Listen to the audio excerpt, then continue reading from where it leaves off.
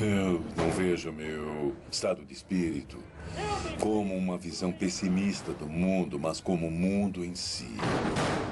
A evolução não consegue evitar com que vidas inteligentes tomem consciência de uma coisa, algo que está sobre todas as outras, que é futilidade.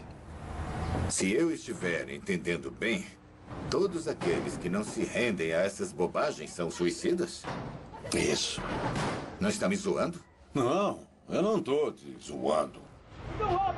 Se as pessoas pudessem ver o mundo como ele é, ver suas vidas como elas são, sem sonhos nem ilusões, eu aposto que elas iriam escolher morrer o mais cedo possível.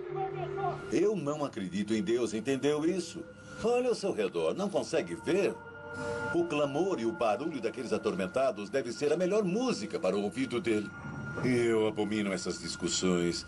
O argumento do ateu cuja única paixão é ofender aquilo que ele nega, em princípio, sua sociedade é uma sociedade de dor e nada mais. E se essa dor fosse coletiva, em vez de meramente reiterada, iria acabar arrastando o mundo das paredes do universo e o mandaria em chamas diretamente, direto para um lugar onde ainda houvesse esperança, antes mesmo de virar cinza.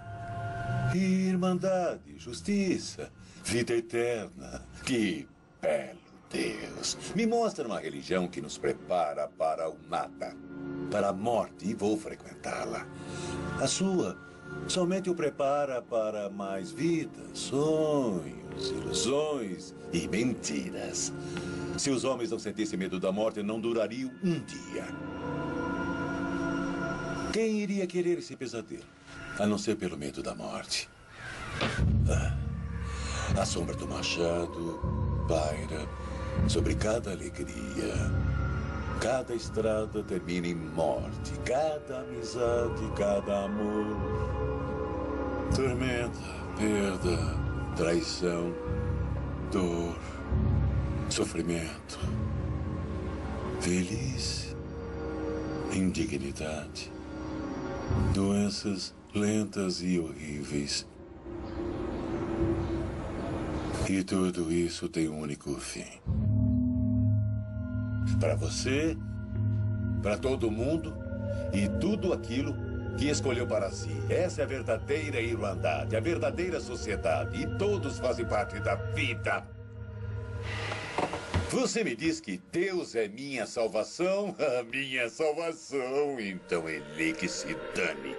Dane-se em cada forma e aparência. Se eu me vejo nele, sim, mas o que vejo me noja. Está me entendendo? Consegue me entender?